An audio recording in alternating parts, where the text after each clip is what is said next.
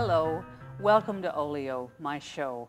My name is Susan Rushton, and before I go any further, I need to thank Atwood Video Productions for hosting ACTV. Thank you very much.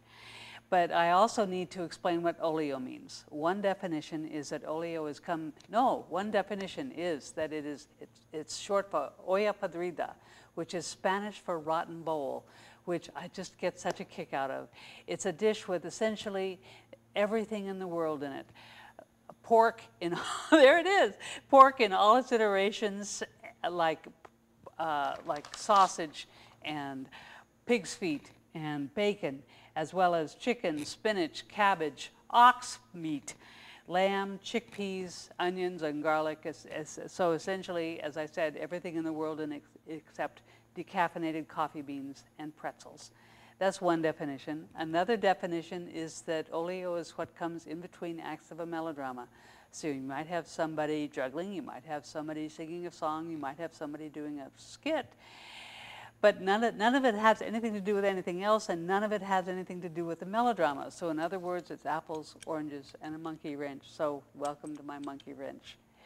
Today, my guest is a writer. Her name is Meredith Cherry. Thank you very much for joining me, Meredith. Thanks for having me. yes. And you, uh, we, you have been on my show before to promote um, stuff you've written. Yes and now you're going you're you're here to promote an event that you're that you're being that you're involved with. That's right, it's a four-year event. A four-year event.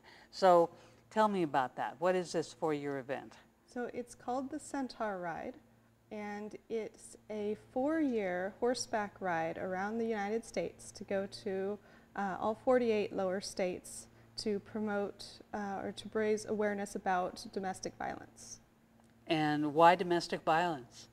Well, I'm a survivor myself, and uh, when I got out of my abusive relationship a few years ago, I felt so alone when I was in that situation. I felt like nobody else had ever gone through it, nobody knew what it was like, and I found out afterwards that one in three women will go through domestic violence mm. situation in their lifetimes. I had no idea, and I wanted to do something to talk to women uh, everywhere that I could about what the realities are, uh, that they're not alone, that so many women go through this, and there are resources out there for them. Uh, maybe talk to young women who haven't gone through it yet and maybe prevent some of that. Uh, talk to people who know somebody who's going through it and uh, provide information and resources uh, for them to help their loved ones. Yeah, okay. So I can imagine that being in an abusive situation, the, the, the situation was such that, that you were isolated. I was very isolated, yeah. yes. Okay. So that would that would make you feel as if you were that you were the only one only woman in the world and, and at that time, you were only the only girl, the only girl in the world mm-hmm. uh, undergoing this. Right. And uh, what on earth do I do? How do I solve solve this problem? How did you solve the problem? It was a very uh, lengthy, drawn-out process to solve the problem. Uh, a lot of the issue with leaving is um, in my mind at least, there's many different opinions about this, is uh, societal misinformation, which is what I'm hoping to help with. Uh, the misconceptions of what domestic violence is. It took me years to even realize that it was abuse. Uh, so you weren't being hit? Initially I was not, ah. and so I didn't realize it was abuse. And then once I began experiencing the more classic uh, physical domestic violence, then I, um, the way that it works, there's a lot of what's essentially brainwashing that goes on between You're the, stupid. You don't know what right. you're talking about. You, yeah. I didn't hit you. You just fell into my fist. you, you made me so angry that I lost control, and it's your fault for making me hit you. Mm -hmm. That sort of thing, and um, by the time the physical element begins, the relationship is so uh, depend. The victim is so dependent on the abuser from the buildup over time of becoming um, essentially their psychological captive, if that's an okay term yes, to use. Yes. Um, that it's not clear anymore to the victim what is going on in reality. And so it took me years and years to finally realize what was happening. And then once I realized, to be able to Now figure what? out what to do what am I going to do? Right, Yeah. right. Yeah. So how many how many years were you in this situation? Uh, the relationship I, I know we took, you asked me not to talk about numbers. Oh no, that's okay. Um, my own numbers are fine. I, I just don't have a head for statistics. Yeah. Uh, but um, I was in the relationship for 12 years, Oh gee. uh, and technically the whole relationship was not abusive in that the initial part is always just red flags and warning signs. Mhm. Uh, You've such learned this minor, later. right? That I learned later. So about eight years of abuse, uh, of varying, you know, increasing degrees, Mhm. and I realized that I needed to get out for about two years at the end of it. Uh, but it took me that long to actually be able to effectively leave and stay gone. Uh, most women, or on average, women who try to leave uh, a domestic violence relationship, it takes seven attempts before they actually succeed. Mm. Uh, for myself, I lost count. It was dozens and Oh. dozens of times. Oh wow. So, And what what what? Why did you come back? uh, part Money? Well, Was part of it? Where am I going to stay? Is another? Um, that's why I didn't leave for a while. Mhm. Was what am I going to do when I leave? I don't have a job anymore because he hasn't allowed me to work. Mhm. Um, I've been told I'm worthless, and so why would anyone hire me? Uh, and then once I actually would leave, I would call, which was a big mistake, and say, you know, I hate you, I'm leaving, Mhm. I don't like what you did to me. And then it would begin what's called the cycle of violence, uh, the honeymoon Mm. stage, where the abuser says, I'm really sorry. Yeah. It'll never Uh-huh. happen again, and it's very convincing. And uh, and After you love all, that you loved- person. yeah, you Right. loved him. Even though he's awful, at some point he was very loving. And, And we get used to what we're used to. Right, and you Yeah. want it to be okay. You want that relationship to be fine. And uh, so I'd believe him and go back. And uh, a couple times I was returned to him by the police uh, because they didn't understand and I couldn't vocalize it well, what was going on. I was not ready to call it abuse at that point. Um, and so, without me being able to state that clearly, uh, without me understanding what it was, then I would be returned. Mm. So Hmm. that was um, Scary. That was scary. That yes. was an unfortunate situation. Yes, absolutely. And then they left. Yes. There he was. Right. Oh God, Meredith. Yeah. She's- So, but no woman should have to go through. no. Uh, and my ride, while it stems from what I went through, it's not about so much what happened to me. Uh, you know, I'm I don't mind sharing my story if it helps somebody, but there are so many women going through this, and there and everybody's situation is always a little different. Uh, there's all kinds of different abuse. There's physical abuse that everybody knows about. Uh, there's emotional abuse, psychological abuse, sexual abuse, uh, spiritual abuse. Um, there's several other kinds. Mhm. It, there's just so many different nuances and facets to it. Okay. So, so you're. What is this? This is a centaur ride. Yes. And a. Some people might not know what a centaur is. What is a centaur? A centaur is a half horse, half human, and and a centaur ride is a female centaur. So a half Oh, really? woman, half horse. huh. hmm Shame on me. I'm an English major. I should know that. Centaur ride. hmm Okay. Um, and I, I thought it was you were calling it because you are you are on a horse and you're riding this horse. That too. Okay. Yes. So my little play on words. and yeah, and your horse is Apollo. Yes. How long have you had Apollo? I've had Apollo for two and a half years. Okay. And he knows what he's getting himself into. I've told him. Mhm. I've told him. He's he's uh he's still getting used to the idea. I You're- think. And you're being, you're training him and Yes. wa- riding him longer and longer. and- Yes. Okay. So why, why on a horse? Well, I love horses. I've been a horsewoman for most of my life, except for when I was in that relationship. Mm, Okay. And so when I left, I thought, what have I been missing for these 12 years? Um, what do I want to bring back into my life that I know, had not been able to have for those that time? And the main thing was horses. Horses. Yes. Yeah. And I also wanted to, like I said, go out and help people uh, understand about domestic violence. And so I put the two together and decided I'm going to ride a horse around. Yeah. Uh, it's a lot better for me than uh, bicycling or walking. So Okay. yeah. So, um, so you're you're starting.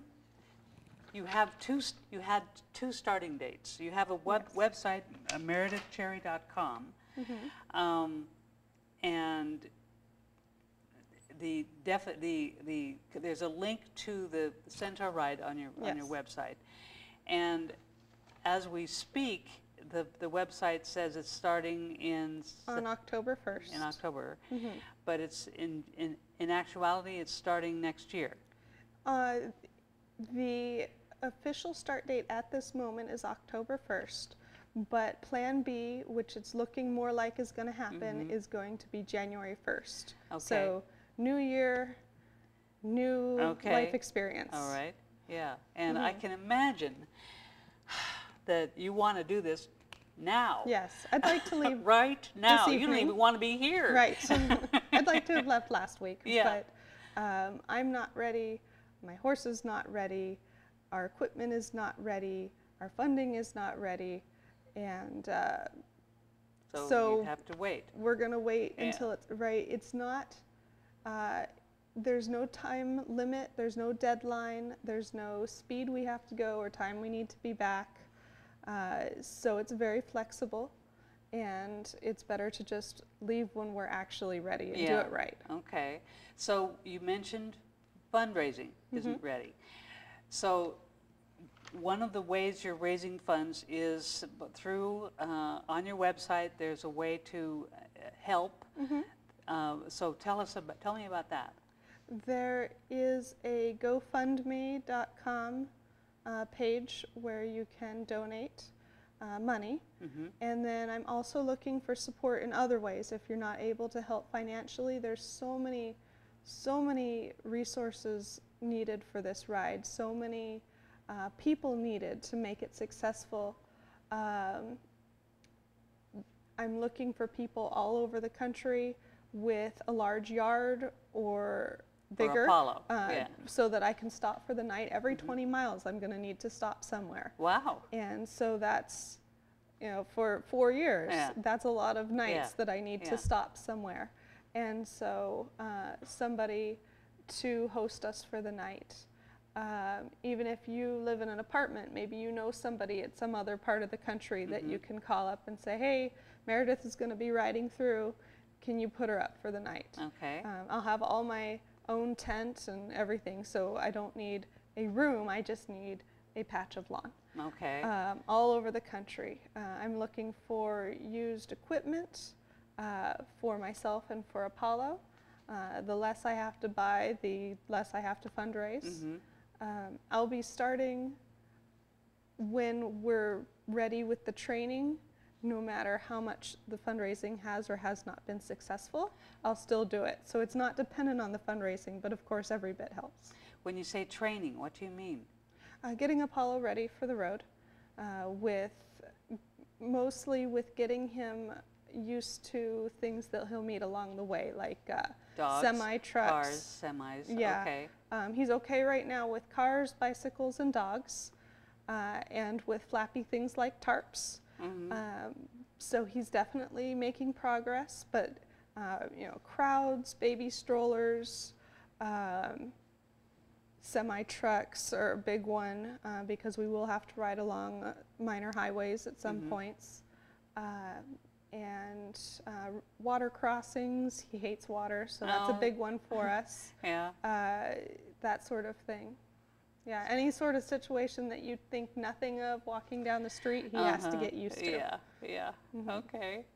So, so there are, there are ways, there's, there's, there's, if we look at your, at your website, Mhm. meredithcherry.com, Yes. um, there's, there's things, there's links to click on, to, this is what you need, this is how, how, how you can help, uh, this is the GoFundMe Right. website. Um, and you are, I'm assuming that you are, are you, uh, you're going to take your computer, Yes. your laptop or your phone, Tablet. Yeah. phone, to to uh, inform newspapers, Mhm. TV stations, radio stations that you're.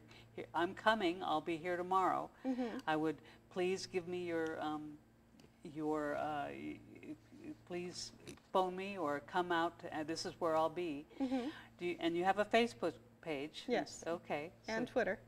and Twitter. Mhm. Okay, so so you're you have no shortage of ways to publicize yourself, uh, Right. the event, the, Right. the- your your trip.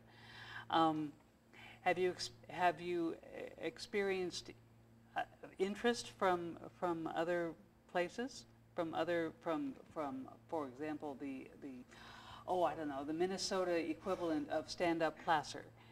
Um, I've not contacted anyone outside the region yet because it's too soon. okay. I won't know exactly. I have a general idea of where I'll be at any given day for the Mhm. ride, but it's going to be very uh, touch and go the whole time on depending on how many miles we actually cover on any given day. Uh, it's all an average and all an estimate. So it's a little early to contact anyone in Minnesota yet. Yeah. Okay. Um, but I have been getting uh, some interest from individuals around the country. I've already gotten uh, several people around who have said, hey, when you come this way, stop at my place and I'll put you up for the night. I know people in the horse industry that'll be really interested for Mhm. the surrounding region. I know domestic violence shelters that would love to have you come and talk to the women. Mhm. Uh, anything like that is helpful. Um, I also will be on a British radio station, uh, podcast rather, um, in, I don't have the date on me, uh, No, but soon, okay, yeah. So that's scheduled.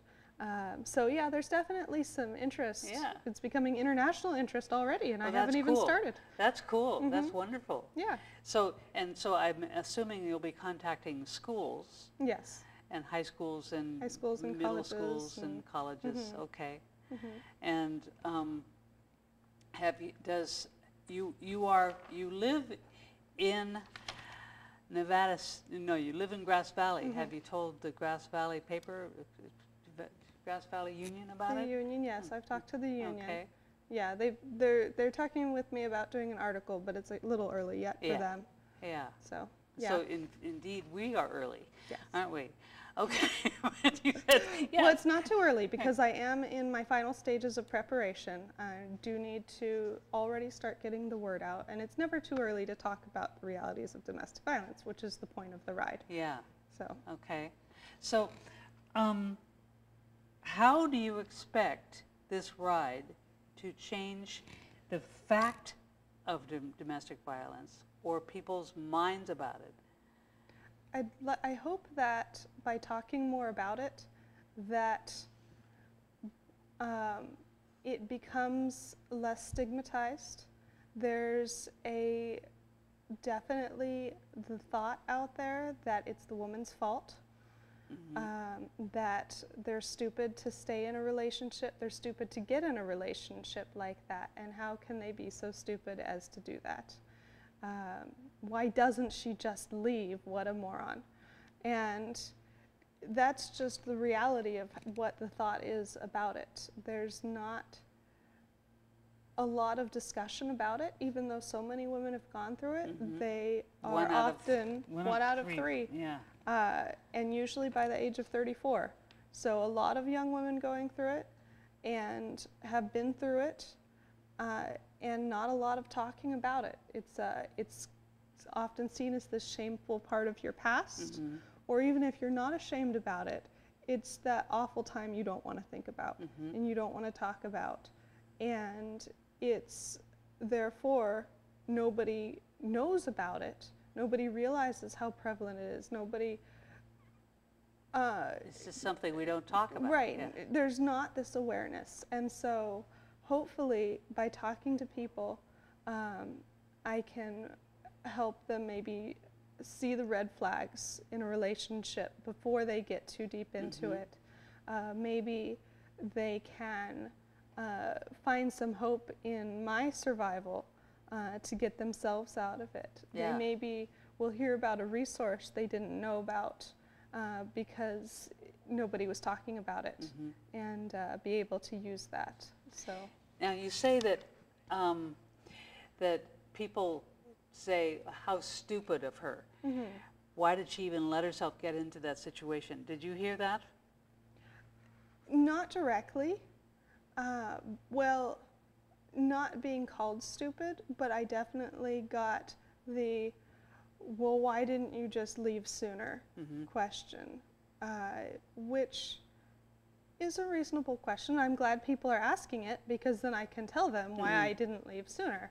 Uh, it was financial. It was uh, it was confusion. Emotional? It was emotional. The whole uh, with all the different kinds of domestic violence that I was talking about the physical, the emotional, the spiritual, whatever the whole point on the abuser side is control. It's all about control. Yeah. And so when you are in a very controlled situation, when you've lost your independence, which you've gradually given up over time. So you don't have money, you don't Right. have access to a phone, you don't have a car. and initially you give up little things that don't matter so that you can get through the argument or get through the day or Mhm. get through a tough time and you say it's okay i'll just take a back seat here and then you give up a little more and a little Mm-hmm. more uh, over time you lose control entirely Yeah. and then you're stuck Yeah. How old are you, Meredith? i'm 33 Okay. You are, are you seem like a, you look like a young 33. oh thank you Yes, yes. And um, when you when you go and talk to uh, t- teenagers about this, they will uh, maybe I don't know. I it's been years since I've talked to teenagers, and um, uh, I, I I am so so far away from them age-wise that they that I that I'd be sort of like the teacher in the Charlie Brown specials, but not you. You you you wouldn't. They would listen to you, I Mhm. believe. Um, i hope so Yeah. Um, if they'd see someone who looks like themselves. Mm -hmm. Yeah. So, um, again, this is, Meredith Cherry is, uh, has, has her website, meredithcherry.com, um, and information about it. And, um, yeah, okay. And so you've done something similar to, like this before. You've, you've written another book about bicycling Yeah, around California. Similar in a very loose sense, yes. in that it was that a you- long journey. Yeah, Yes. long journey Uh, and, My books, I actually have two books now. They're the Along the King's Road series. Uh, one is for traveling along the El Camino Real of California from mission to mission by bicycle, and the other one is to do it by car. okay, yeah. Mhm. And so how long does it, did you find that it takes by bicycle? It took me uh, 22 days. I was trying to do a mission a day, so that's 21 missions. Um, and I did it in 21 days uh, with a support vehicle to help me over the mountains. Mm-hmm. Uh, if you were taking it all by bicycle, it would depend on, of course, how fast you pedal and how long you like Yeah, to sightsee at yeah. each mission. But it could take anywhere from um 18 to 30 something days, I would Mhm. say. Okay. And you are, you've moved from bicycle to horse hmm for, for this project Yes. because you're going to be in the, it's going to, you're going to, put 20 miles a day, you're going to be out in the winter. right. Well, in the winters on the horses, uh, on the horse, I will stop uh, until the weather clears. Okay, Uh, when I'm in North Dakota and winter comes, Mm. I'll be there a long time, Yes. but I'll just stay put somewhere, okay, uh, find some seasonal job and work over winter until spring comes and then keep right on riding. all right. Mhm. Is there a book in this? Oh, I'm sure there will be. I hope so. Yeah, yeah.